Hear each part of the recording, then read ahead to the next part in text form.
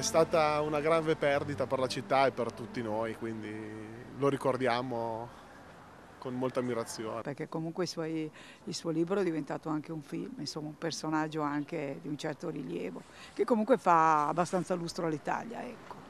In questo momento in cui di lustro non ce n'è più, perlomeno. Ho avuto la fortuna di averlo conosciuto, era una persona squisita.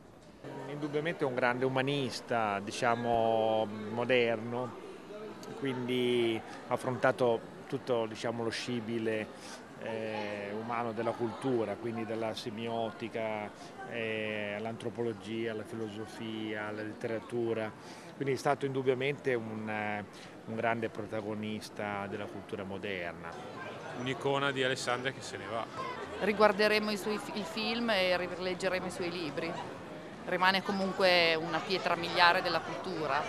È stato un, un personaggio importante per la città, per l'Italia e anche per il mondo. Quanto mancherà un personaggio come Umberto Eco? Tantissimo, tantissimo.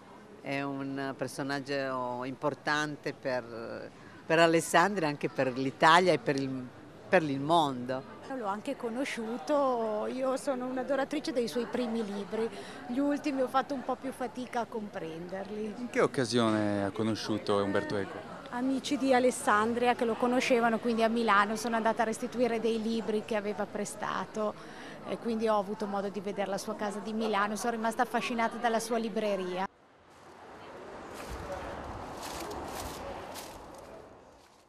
Un personaggio meraviglioso, ho letto tanti dei suoi libri e mi spiace moltissimo.